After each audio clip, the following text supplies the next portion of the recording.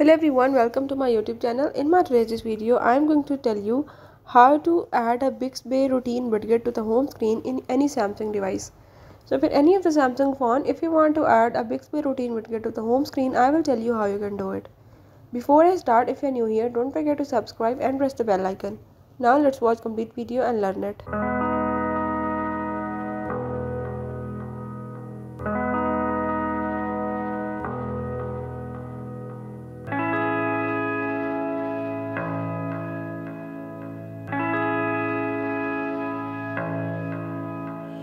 Bye.